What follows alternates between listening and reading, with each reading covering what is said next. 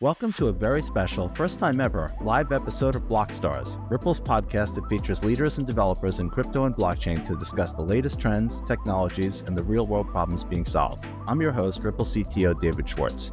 Today, we're broadcasting directly from the XRPL Zone stage in Seoul, South Korea, with the CTO of Axelar, Yorgos Vlachos, who plays a pivotal role in transforming how blockchains communicate and collaborate across the industry.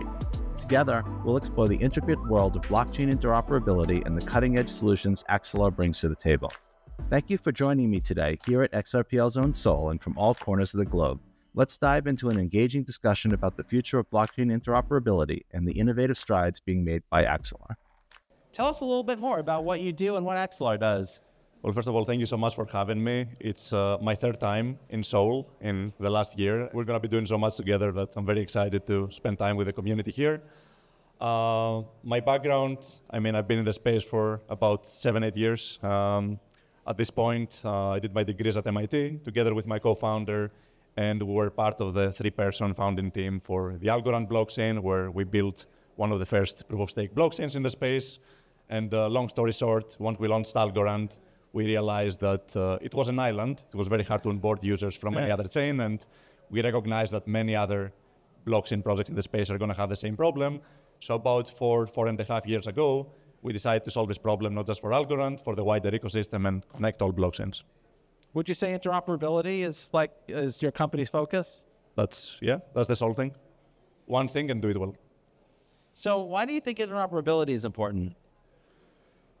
Many reasons. Um, well, first of all, the space is completely unusable without interoperability. Right? Just to make an analogy with the traditional, um, you know, financial system. Imagine, you know, I have my bank account in Bank of America, and you're a vendor. You know, you have a Citibank account, and you know, imagine if my my credit card couldn't pay in your bank account and transfer funds. Right? We wouldn't be able to to do anything, or everything would be centralized in one institution, you wouldn't have a free market competition, right? It would be a very bad situation. And in Web3, we have a similar situation where for a very long time, blockchains have been islands. You know, you have an asset like XRP, one of the biggest assets in the space, and it's still not available in DeFi, right? The holders cannot put it to productive use, and it really limits what people can do with those assets, right? So interoperability is innovative not because it's going to invent new use cases. The innovative use cases are going to be built on your ecosystem, on the XRPL ledger, and some of the other blockchains in the space. But interoperability really makes blockchain usable, right, and accessible to all users. So uh, it's not about novel use cases, but it's about making the existing use cases uh, easy to use. So, so what are the components of an interoperability solution? I'd say there's a few different ways to design an interoperability solution, but the most popular approach have been one where you have some entity that passes messages and assets from one chain to another. Right? And historically, I think the first interoperability solutions were centralized exchanges, right? Like Binance, where they have a big company that custodies assets on behalf of users. You give them assets on one chain, you do a swap in their platform, they give you assets on the other chain. And uh, the next evolution of that was, of course, all of the centralized prison solutions that you know have been getting hacked over multiple years, billions of dollars being lost. And uh, you know, with Axelar, we took like a fundamentally different approach, where we're like, we don't want to have one person in the middle that's just passing assets back and forth between chains. Instead, we're going to have a blockchain that's decentralized and going to have similar security guarantees as existing blockchains, right? So you cannot just, you know, if you're North Korea hacker, you cannot target one individual and steal the whole funds, you would have to compromise dozens of different validators that are geographically distributed and independent organizations. So is the idea that you build a blockchain that's specifically designed to be an interoperability blockchain, then you just connect it to all of the blockchains that you want to be able to interoperate with each other? Exactly. So it's kind of like the appchain thesis, if you think about it. You know, every blockchain can specialize in one thing. Uh, I think of like, uh, you know, even XRPL Ledger, I mean, it's going to be general purpose, but it's going to have a, a, very big focus on RWAs, right? And it makes sense to specialize. For Axelar, the specialty is interoperability. And uh, just to take a step back and explain why we need a blockchain, if you look at all of the previous solutions that got hacked for billions of dollars in total, effectively what they did is that they would typically have the core team or a founder that was holding all of the funds in you know some ledger or God knows where they held the funds, it would work well for one, two, three years, and then eventually they got compromised, someone got access to the key, and would steal all of those funds, right? So how do we decentralize this process? Well, the only way we know how to decentralize uh, an entity is by launching a blockchain, right? So we launch a blockchain, it has like crypto economic security like all the other blockchains, and it today has a decentralized validator set of 75 validators and growing. But that was the main thing. We want to decentralization, and the best way to get decentralization is by launching a blockchain. But blockchains don't usually keep secrets, right? Like the Bitcoin blockchain can't keep a secret. The XRPL XRPL can't keep a secret because you need to be able to somehow sign transactions to release other currencies. Somehow you have to keep a secret somewhere. That's right. So it's the validators, right? On every blockchain, the validators shares are secret, right? So effectively, when you do a cross-chain transaction through Axelar, the validators have to collectively sign a cross-chain operation and approve the transaction. And unless you can attack, corrupt the majority of the validators, you will not be able to, to fabricate a cross-chain operation. So what's a typical validator quorum look like? Roughly. It's uh, it's stake stake weighted, so maybe today is like 40 out of the 75 um, validators, and we're looking to decentralize more and more over time. But uh, just to give you a sense, I think the next closest competitor, which is Wormhole, has uh, you know 19 validators. It's fully permissioned, and you need to compromise 12 of them, so like four times less uh, distributed. And then there's like some others, like you know uh, LayerZero, uh, some of the ones that got hacked as well, that you know have a very small number of validators, and often you don't even know. It's like three, four validators, and that's it. Are the validators anonymous, or are they known, or is it up to them whether they want to disclose identity or not? I mean, for the majority, uh, there's no transparency in most cross-chain solutions, so like you know, I, I, we don't really know. But for Axelar, it's fully transparent set, and uh, it's exactly the same model as uh, other blockchains, right? So um, if you look at most of the proof-of-stake blockchains in the space, the validator set is is usually known, right? These are usually like big entities that are trusted for validating a network but of course, you can run a node anonymously as well, right? So it's a combination of mostly known operators and a bunch of unknown ones. And I'd say the distribution of nodes is very similar to some of the other big chains, right? So, uh, which is good because you want to replicate the level of security of the chains we connect, right? We cannot be more secure than the chains we connect because if a chain breaks, things can go wrong. So, want to replicate the same level of security. Right. So, for example, if there was a double spend on Bitcoin, you have to be careful that you don't bridge a transaction that Bitcoin later decides didn't happen. Exactly, and that's why we also like how the validators fully validate uh, each individual chain, and uh, that's something else that's actually quite interesting uh, with Axelar because we have a blockchain. It operates in a hub and spoke architecture. Mm-hmm. Right. So uh, effectively, uh, you can build custom connections from any chain to Axelar and you can decide how you want to secure that connection, right? So, um, you know, with XRPL, because uh, with not with the EVM, but with the uh, original XRP ledger, we have to build a very custom integration, right? But once we build this bridge between XRPL and Axelar, and we can pass some information between XRPL and Axelar, we can forward to any other chain like Solana, Ethereum, and so on. So this scales very well. This scales very easily because with one simple integration, uh, you can get access to the whole ecosystem. But the other thing you can do is that if one chain breaks, you can cut off the connection mm-hmm. there. While with virtually every, every other bridging solution in the space, they operate in a pairwise manner. So if a chain happens to break, the damage can contaminate to every other chain. So maybe there's like a $10 double spend on a chain, but then you can steal like thousands of dollars on every other chain, and like, you know, it scales by the number of connections. It can be pretty bad. What does the user experience using the bridge look like?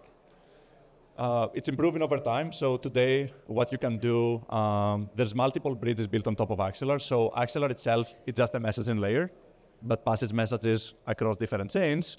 And on top of that layer, people can build cross-chain applications like bridges. Right? The most popular bridge on uh, Axelar is uh, Squid, which is also going to be launching on XRPL. And what it allows to do is start with any asset on any chain. Let's say you hold some SOL on Solana, and with one transaction from your wallet, you should be able to receive uh, the XRP token or any other token on XRPL. Under the hood, there's many transactions that happen in between. There's a swap on the origin chain typically, a bridging transaction, you bridge some stablecoin, you swap again, but all that is abstracted away from the user, right? So you can compose these sophisticated sequences of cross-chain interactions and abstract them away so the user only sees the you know, the initial transaction and the end result, and the whole flow can take like 10 to 20 seconds, and we're actively improving the time as well. That's awesome. So, what is Axelar going to do for the EVM sidechain? So first of all, we're going to connect it. Uh, You're going to provide a bridge, I would hope.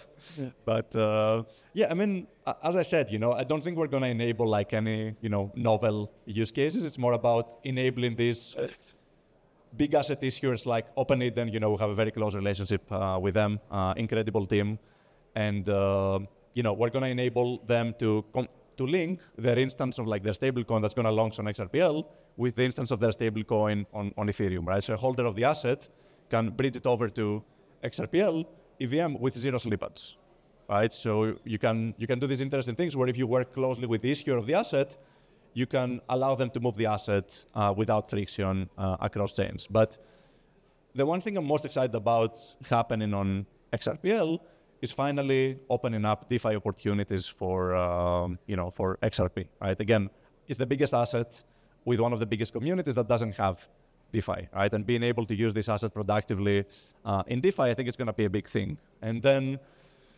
XRPL, you know, Ripple obviously has a very unique edge when it comes to RWAs. And with Axelar, we're working with most of the RWA issuers as well. So it's not something we've, I think we've done a deep dive yet with, with your team, but uh, it's something we're prioritizing now and just bringing new RWAs over to XRPL. And uh, I think you guys have a big edge there, and we can make it probably the biggest chain, right, for, for RWA um, adoption. So I think there's some interesting directions there. So you kind of already answered the next question, which is what would you foresee as the evolution of the EVM sidechain? So I assume real world asset tokenization is probably uh, big. Yeah, and I'm sure you have other plans, right, to make it like a general purpose chain and like have all kinds of applications. But like I don't know, to me it just makes sense to focus on one thing and do it really well. Obviously, like uh, a lot of people across the globe use Ripple for remittances, so it's again a natural evolution to just have all kinds of assets.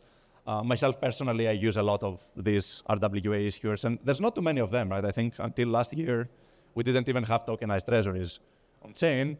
But now, if you know how to use crypto, it's very easy to just get access to like, you know, like treasury yields, which you'd have to go through hoops, like they're not even available in a lot of parts of the world, right? So bringing those assets over, yeah, I think it's going to be super interesting.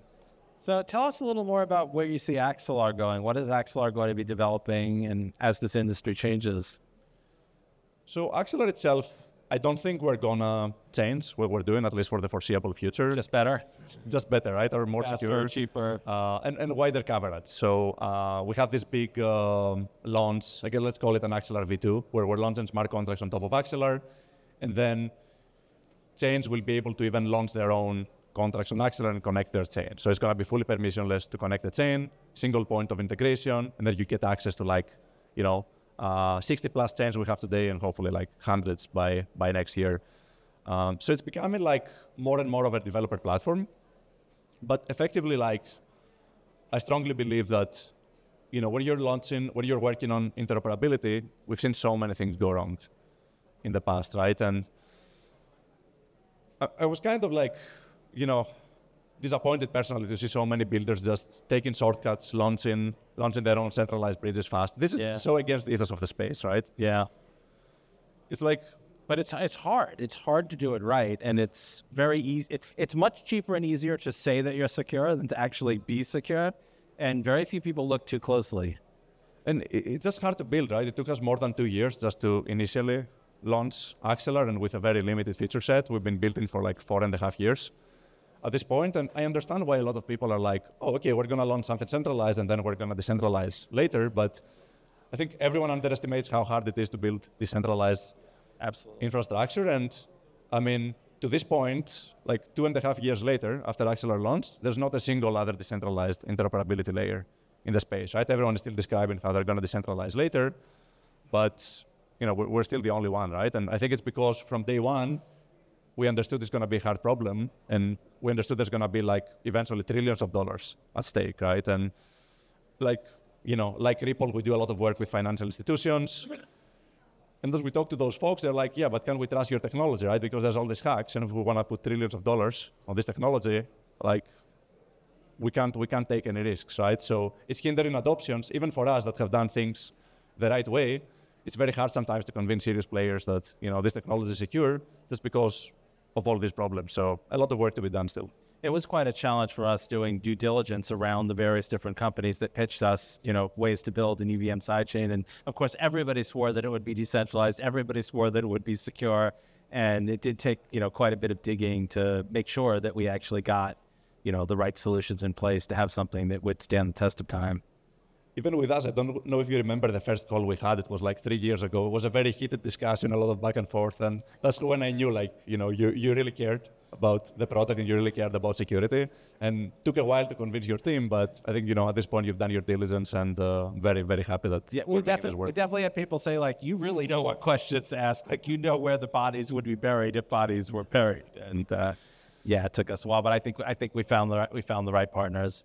So I love to torture my guests. I always do this. Um, I always ask the crystal ball question. So where do you see it could be your company, it could be yourself, it could be the industry. Just give us a prediction two years from now. Two years. I think that's easy, honestly, for Axelar. We're just gonna be connecting all chains, right? Our goal is to have, you know, we have robust security right now, like for the core set of chains we've integrated.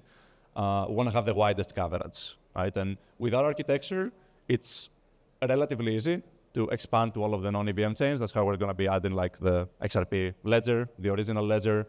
Uh, we're going to be expanding to some of the other chains like Ton, uh, Solana, Sui. We want to have complete coverage. And our strategy is simple, right? Like the EVM space is very congested right now. Like there's so much competition even from centralized players. But interoperability is a network effects business, right? And we can talk to people all day about security, but the average developer, honestly, like, is gonna pick the solution that's easiest for them to use. So we need to have another edge, right? And the edge is gonna be coverage. Once we have all chains, I just don't see an issue picking another solution because you can pick a solution that just works on the EVMs, and then you will have to work with us regardless. You're not going to have composability with the other ecosystems if you don't, so might as well just use Axelar for, for everything, right? So it's a simple strategy we're still going to be focused 100% on the security of the solution. We're gonna, not going to be launching other products. We're not going to be pivoting, right? It's interoperability is a full-time job. And uh, yeah, I guess we'll see. We'll see in two years. Uh, I mean, hopefully we'll have XRPL as the biggest RWA chain. I think, you know, I think that's a safe prediction. Let's see what happens. But uh, yeah, we'll see in two years. Well, I certainly hope you're right. Thank you, Yorgos, for joining me today. It was a pleasure hosting you on Blockstars. Don't be a stranger. Thank you so much, and always a pleasure to talk to the community here. A huge thank you to you, our listeners, as always, for tuning in. If you have any questions, you can reach out to me on Twitter at Joel Katz, J O E L K A T Z. And remember to follow at RippleXDev on Twitter to keep up with the latest industry news, technical updates, and cool new developer projects from the community. See you around the blockchain.